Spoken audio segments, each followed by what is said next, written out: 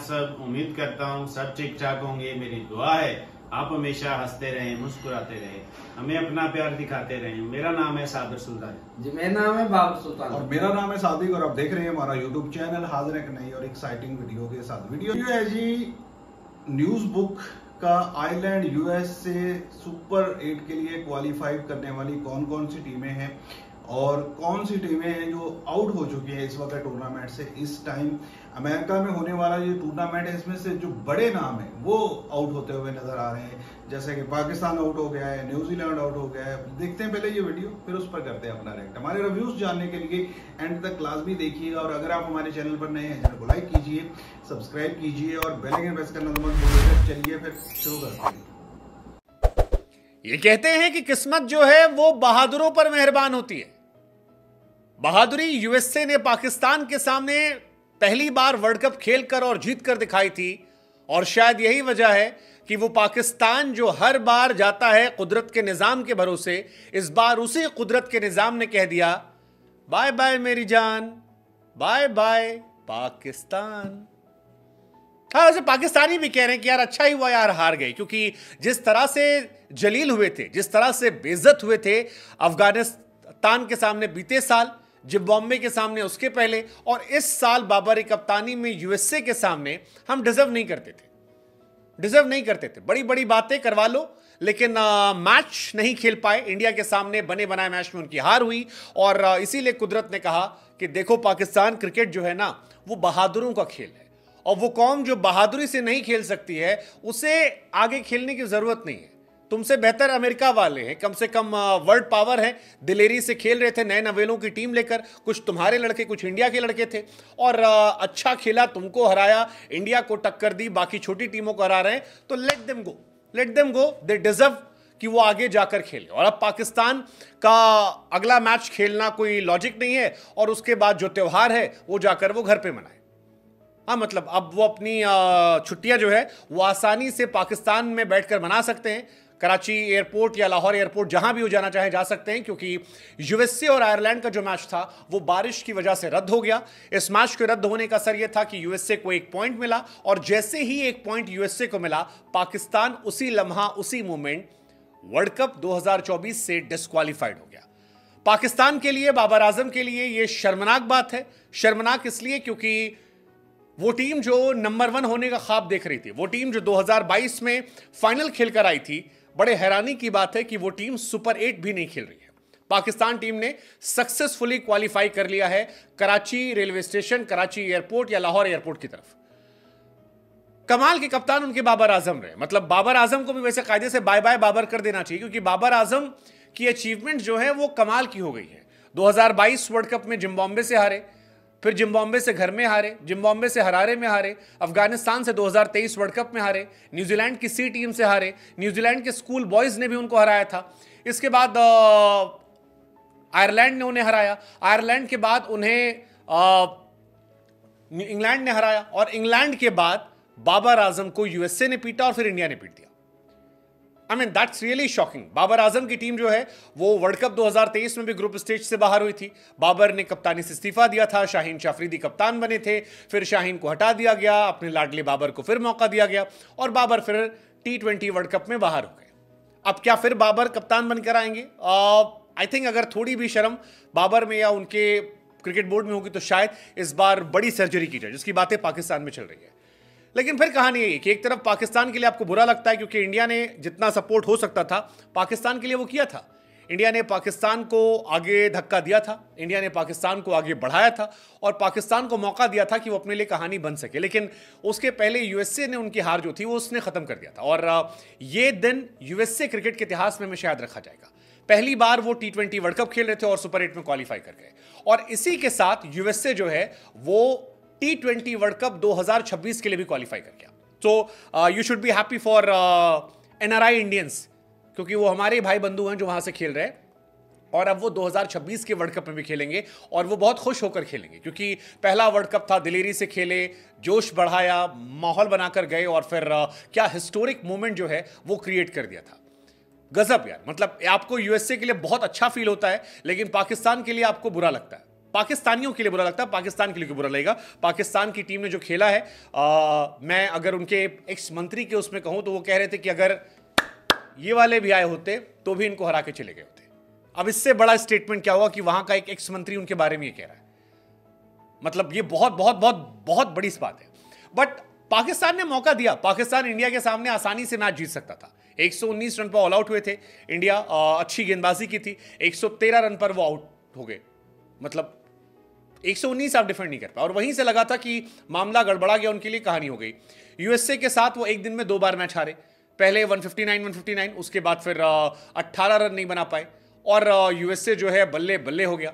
Pakistan champion team थी शुरुआत में। 2020 वर्ल्ड कप में रनर अप थी। 2009 में चैंपियन बनी। 2010 में सेमीफाइनल खेला।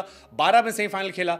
लेकिन उसके बाद से ज़िंदगी जो है वो खराब हो गई। 14 में सुपर टेन 16 में सुपर टेन 21 में फिर कम अच्छा हुआ था बाबर की जब शुरुआती टीम आई थी सेमीफाइनलिस्ट रनर अप लेकिन अब फिर फ़र्स्ट राउंड एग्जिट 2022 के बाद बाबर का डाउनफॉल जो शुरू हुआ टी ट्वेंटी वर्ल्ड कप के बाद उसके बाद से वो कम नहीं कर पाए और यही वजह है कि बाबर आज़म की टीम जो है अब सवालिया निशान में। पॉलिटिक्स दोस्ती यारी डॉट कॉम आपस में एक दूसरे को नीचा दिखाना आ, उनके खिलाड़ियों वहाब रियाज का सारी भूमिका अकेले निभाना। सो इतनी सारे फैक्टर्स इतनी सारी चीज़ें अनशन प्लेयर्स को ले आना, ओसामा, मीर या अबरार को मौके ना देना, दोस्ती यारी में प्लेयर उतारना पाँच पाँच ओपनर को लेकर खेलना, मिडिल ऑर्डर में शादाब खान का बिना परफॉर्मेंस के टीम में बने रहना। देवर मेनी फैक्टर्स जिसने पाकिस्तान टीम को डेंट दिया और इसी वजह से पाकिस्तान और बाबर आज़म जो है, वो दोनों कराची एयरपोर्ट के लिए जा चुके हैं। अब सारी बातें बकवास रह गई हैं किंग कर लेगा। टी ट्वेंटी वर्ल्ड कप में। कोई किंग विंग नहीं है जी। घंटे का किंग एक्चुअली जो कहते हैं वही रहा बिकॉज़ खुद पाकिस्तान में कह रहे हैं, मैं शहजाद कह रहे हैं और लोग कह रहे हैं कि यार कौन सा किंग होता है जो अपनी टीम को एक मैच जिता पाए? 2022 के बाद बाबर आज़म ने कोई मैच पाकिस्तान को बड़ा जिताया नहीं, अपने दम पर। दैट्स बाबर आज़म। और शायद इसीलिए कुदरत के निज़ाम ने भी कहा कि यार तुम नहीं लायक हो। यू डोंट डिजर्व किस्मत बहादुरों के साथ होती है और इस बार जो पाकिस्तान की टीम थी वो बहादुर नहीं थी। खैर, आप लोग बताइए, आपकी नज़र में पाकिस्तान की टीम कहाँ गलत गई, जिस वजह से वो टूर्नामेंट से बाहर हुए? Please comment and let us know जी तो व्यूवर्स पाकिस्तानी टीम हो चुकी है, बाहर यूएस से जीत गया है और कुदरत का निज़ाम इस दफ़ा यूएसए को सपोर्ट कर रहा है। बिल्कुल सही बात की। कि ये जो कुदरत का निज़ाम है ये बहादुरों को सपोर्ट करता है कायरों को नहीं। ऐसे डर कर खेलने वालों को नहीं ऐसे सिर्फ़ अपनी फैमिलियों को घुमाने के लिए नहीं। अब आपके पास खुला टाइम है घुमाओ न्यूयॉर्क घुमाओ अब पूरा अमेरिका छान मारो अमेरिका के जो वो पिंड है ना वो भी जाकर देखाओ। लेकिन लानत है तुम लोगों पर कि तुम लोग इस बुरे तरीके से हार गए एक अगले मरहले के लिए भी क्वालिफाई नहीं कर सकते। जहाँ हम अफ़गानिस्तान को देखने रहे जहाँ हम यूएसए को देख रहे हैं जहाँ हम नई टीमों को आगे क्वालिफाई करता हुआ देखेंगे। वहाँ पाकिस्तानी टीम नहीं होगी। तो ये बड़ी शर्मनाक बात है इन लोगों के लिए। और आते ही इनका स्वागत होना चाहिए टमाटरों से। अंडों से और इनकी इज़्ज़त अफजाई होनी चाहिए एयरपोर्ट्स पर। लेकिन ये जो चूरन बेचा जाता था तुम जीतो हारो हमें तुमसे प्यार है कोई प्यार व्यार नहीं है और ऐसा कोई प्यार व्यार होता नहीं है कि तुम पाकिस्तान और पाकिस्तानियों 25 करोड़ जो पाकिस्तानी है वो तुम पर नज़रें टिकाए और बैठे हो तुम ऐसी परफॉर्मेंस दो। और लड़कर तो हारो कोई मतलब नहीं है हमें हार जाओ। सुपर एट से भी बाहर हो हर मैच हारो लेकिन एंड तक फाइट करते हुए अगर तुम नज़र आओगे तो हम फिर भी तुम्हारे दुआएँ करेंगे यार बहुत अच्छा खेले थे। कोई बात नहीं आज टाइम नहीं था। लेकिन तुम खेलो ही नहीं तुम तुम पहले ही गिर जाओ वक्त से पहले ही गिर जाओ और हमें नज़र आते हैं कि तुम अपनी पूरे पूरे कुनबे और और चाचे मामे ताए और फुफियों की बच्चे बच्चियों को भी लेकर वहाँ पे घुमाने के लिए ले जा सके तो ये मेला और ये मंडी ये मुआशी मंडी लग चुकी है पाकिस्तान में। यहाँ आकर मुआशी मंडी में आकर जानवर नहलाओ और ये जो त्योहार है ना इसको मनाओ। आकर पाकिस्तान तुम्हें लग पता जाएगा। इस बार अगर किसी को रोका गया कि ये रुकते हैं वहाँ पे अमेरिका में, और जो अमेरिका वाले हैं, वो भी हमें देखते हैं, सुनते हैं, ये ठुकाई करें इनको जो भी नज़र आ जाए वहाँ पे, जो टीम के साथ वहाँ, टीम के साथ वापस ना आए। और जब ये वापस आए तो फिर भी इनकी इज़्ज़त अफजाई हो। ऐसे नहीं चलेगा। इनको पता होना चाहिए कि हमने किस जगह पर हैं। हम पाकिस्तान को अगर रिप्रेजेंट कर रहे हैं तो हमने खेलना भी है और हमने खेल कर भी दिखाना है। और ये बिल्कुल भी कोई अग्रेसिव नहीं है। ये हमारे जज्बात हैं पाकिस्तान के और पहली दफ़ा नहीं है। हर दफ़ा ही हम इसी बात पे लगे रहे कुदरत का निज़ाम जी तो चल गया अगर मगर हम अपनी परफॉर्मेंस दिखाई ना अपने जो इम्पोर्टेंट मैच हैं वो हम हार जाएँ और फिर हम कहेंगे बारिश। रोक दे। कभी कहें बारिश हो। जाए कभी कहीं बारिश रोक दे। तो रब भी कहेगा ये किन लोगों का मज़ाक बनाकर रखा हुआ है? तो बिल्कुल जी यूएसए का बनता है जाना क्योंकि वो बहादुरों की तरह खेली है। इंडिया तक को उसने टक्कर दी है और लगा नहीं है कि ये पहली दफ़ा खेलने वाले। बाकी भी एसोसिएट ममालिक खेल रहे हैं। पता ही लग रहा है ऐसे झाड़ियों की तरह गिरते जा रहे हैं। लेकिन यूएसए डिजर्व करता है। उसने खेल के दिखाया है चाहे नई हो पुरानी हो मतलब कोई नहीं है। लेकिन अगर उसने अच्छी परफॉर्मेंस दी है तो आगे जाना भी उसी का ही बनता है। भाई ऐसे ही है देखिए कि वो नई टीम हो गया है, इतनी बेस्ट परफॉर्मेंस दिखा रही है कि हर कोई उसकी तारीफ़ कर रहा है कि भाई देखे यूएसए खेला यार। यूएसए डट के मुकाबला कर रहा है यार। यूएसए जो है इंडिया जैसी टीम जो है जो आईपीएल खेलती है जो इतनी जो है बड़ी बड़ी लीगें खेलती है वो इतनी बड़ी टीम को जो है वो टक्कर दे रहा है। टफ इंडिया टाइम कोई दे रहा लीग है नहीं खेलती इंडिया सिर्फ़ अपनी लीग खेलती है आईपीएल टफ टीम इतना टफ टाइम उसने दिया इंडिया को यूएसए ने। तो ये देखे कि वो भाई साहब उसकी तारीफें कर रहे हैं क्यों उसने परफॉर्मेंस दिखाई है? अगर पाकिस्तानी परफॉर्मेंस दिखाएँगे तो कौन कौन नहीं इनकी तारीफें करेगा?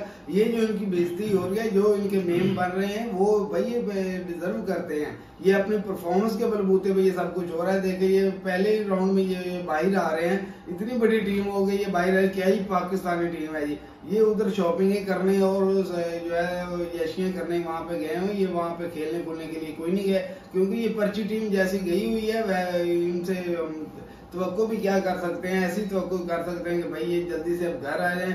अब वहाँ पे इनका रहना बनता भी नहीं है। बिल्कुल जी वहाँ पे रहना बनता नहीं है लेकिन हम रहेंगे वहाँ पे शॉपिंग भी करेंगे। लेके गए पूरी फैमिलियाँ लेकर गए हैं। कोचेस स्टाफ सारे जो है ना जो हमारे जो चेयरमैन साहब हैं उनकी फैमिलियाँ भी गई हुई हैं सारी की सारी वहाँ पे अमेरिका यात्रा के ऊपर। और उसके ऊपर देखिए हमारी परफॉर्मेंस कि यूएसए के साथ हमारा पहला मैच था और वो भी जो टाई हुआ सुपर ओवर हुआ उसमें हम हार गए। फिर इंडिया के खिलाफ हमने अच्छी बॉलिंग की जीता हुआ मैच वो भी हमने उनको दे दिया।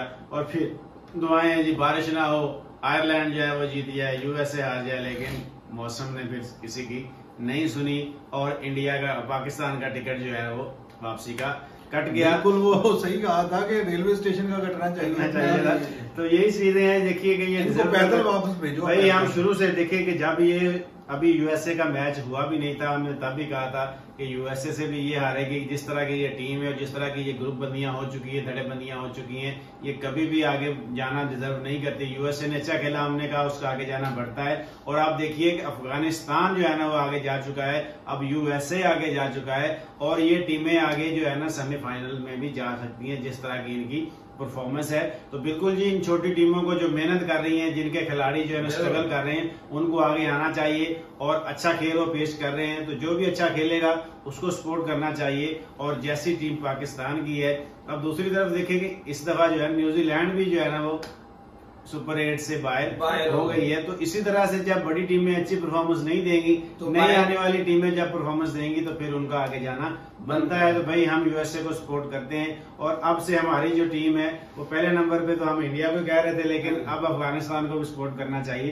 क्योंकि वो भी अच्छी क्रिकेट खेल रहे हैं और जिस तरीके से वो मेहनत कर रहे हैं और जिस तरीके से उन्होंने न्यूजीलैंड को हराया है वो मैच बहुत ज़बरदस्त मैच था। देखिए अब टूर्नामेंट तो हम देखेंगे ही लेकिन हम हम जिसको सपोर्ट करेंगे वो हमारी एशियाई टीमें ही होगी उसमें भारत सरफरिस्त होगा उसमें अफ़गानिस्तान होगा उसमें बांग्लादेश। होगा और हम चाहेंगे कि अगले मैचों को भी जीते और सेमी फाइनल में भी नज़र आए। आई होप सो ये वीडियो अच्छा लगे आपको लाइक करिएगा चैनल को भी सब्सक्राइब करिएगा मिलेंगे एक और वीडियो में तब तक के लिए